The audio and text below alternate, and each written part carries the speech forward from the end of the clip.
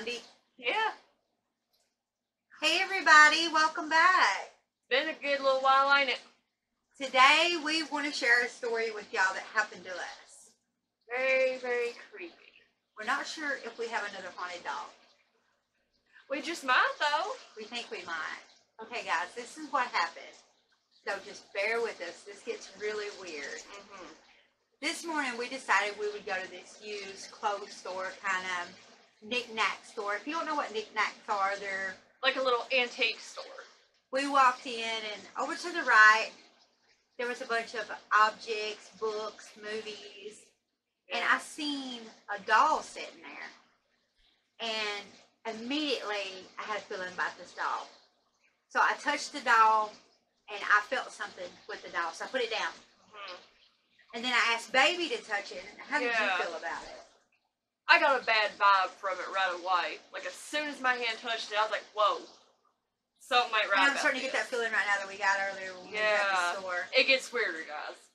It does. yeah so we walk around the store and she's at one end of the Yeah, store we're on completely different sides of the store. She's on one side, and I'm on the other. And I start getting like a tightness in my chest, my throat, like I can't swallow. I'm feeling sick. There was a lady that was in front of me, I don't know, guys, if she had a bad aura. This might not even been the doll. This could have been the lady.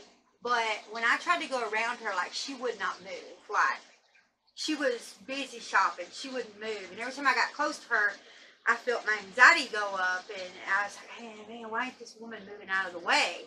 So then, baby, now you tell what was going on with you. So I was looking for clothes for my husband, like I usually do, just seeing. It's like this little small circular rack.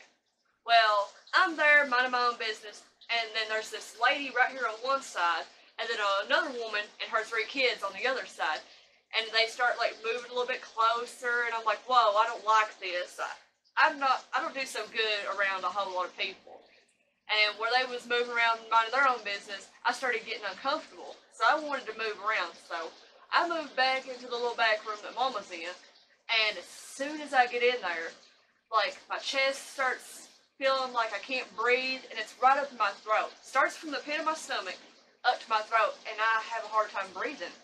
Well, we moved back to the front, waiting for us. But when we Yeah. was in the back, she was like real close to me, and I was like, Yeah. "Why is she like real, real close to me? Like she needs to be protected." It feels like everywhere you look, there was somebody there. The place was really full today, and it's usually not.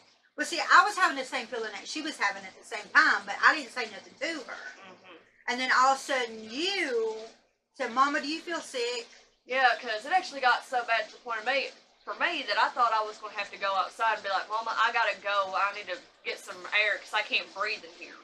And then I asked Mama, I said, Are you feeling kind of sick, like you can't breathe? And she said, Yeah. And it turned out we was both feeling the exact same thing at the exact same time, just different spots. Like we were gonna pass out, like we were gonna throw up. hmm and everywhere we went, it just got worse. But it actually started affecting us, I believe, when we touched the doll. hmm That was the start of it. For me, it was gradual. It started off small, and then it started picking up.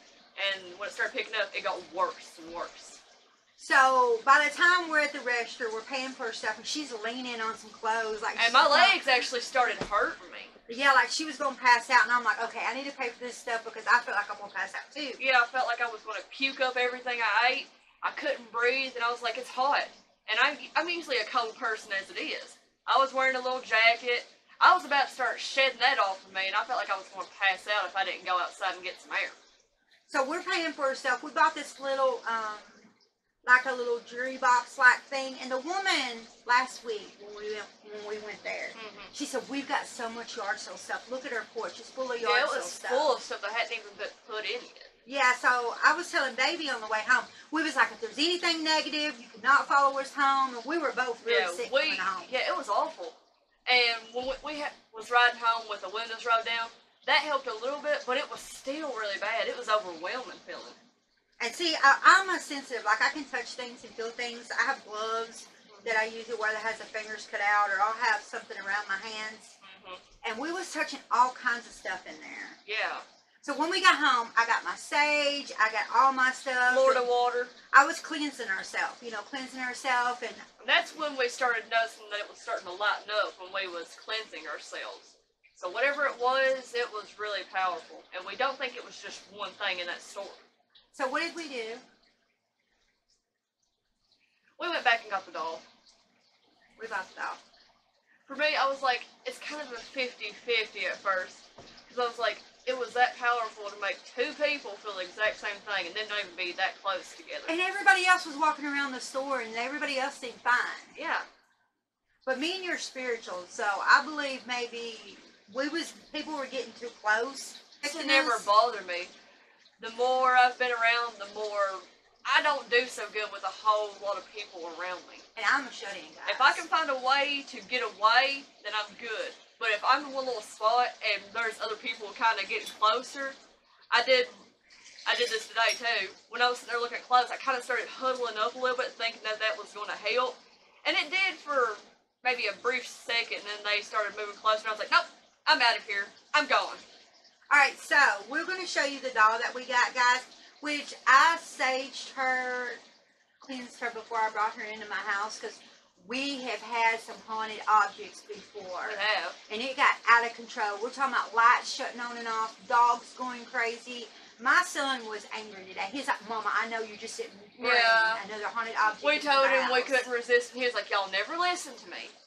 He's like, when if something thing. happens, he's like, "I'm going to be that person that said I told you so." Next thing I want to get, guys, is coal from the Titanic Mm-hmm. because they actually sell that.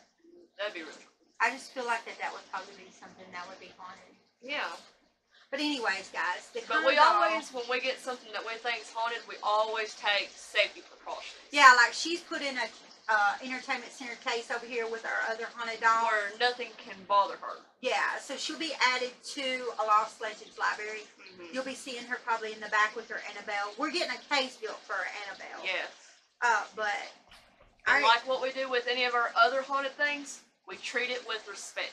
Yeah, so y'all watch the screen as she comes on screen because the last dolls we recorded, our batteries was going dead, the screen was jumping, our voice wasn't. It wasn't matching up to the mouth movement. No, so every time anything haunted we ever filmed something.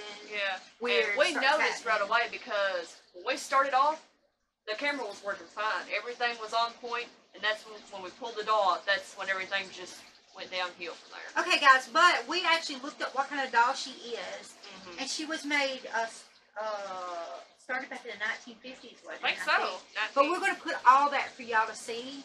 But we actually looked up uh, her history. Mhm. This, eh, they're very beautiful dolls. Yeah. But the name of the dolls. This is her. And the name of it is. Can you see the She's a Gambina doll, and her name is Scarlet. And the story to them is the dress is supposed to keep them because it wasn't ladylike to show your ankles. Yeah. So the dresses are real long. And she did come with like a little parasol and a little hat because they said it wasn't very ladylike, and ladies back then weren't allowed to get suntan complexions. And she's a uh, one of those sleepy dolls. Yeah, when you sit up, the eyes will open or close. But she feels okay now Yeah. in my hands. But when we got How did held her for the feel to you? first time, that sure wasn't. Yeah, the first time you kind of felt it. Yeah. See now, I feel fine. But we did say we did sage her. We cleansed her before she even Mhm. came in the house. We took all the precautions. and we also said there was nothing negative. We do not invite anything negative in our home. If any uh, neg- negative attachments are to this doll, you must leave them Yeah, we don't want you here.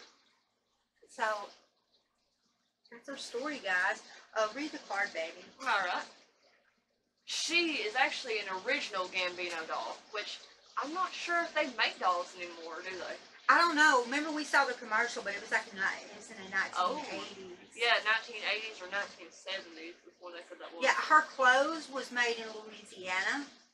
But she was made in Hong Kong.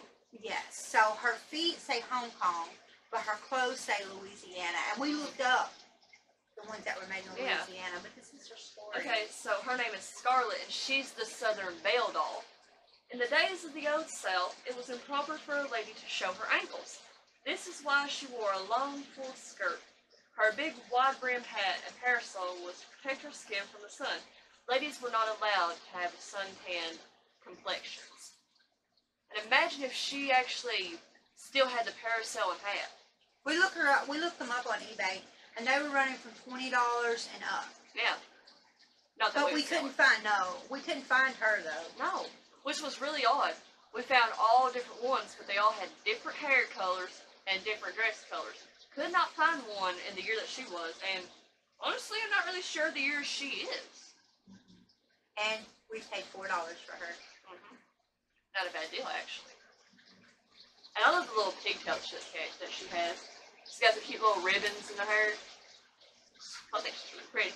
But that's it for this story. But we're going to be right back because we want to tell you about some strange things we've seen in the woods this weekend when we went right. We'll be right back, guys. Talk to you later.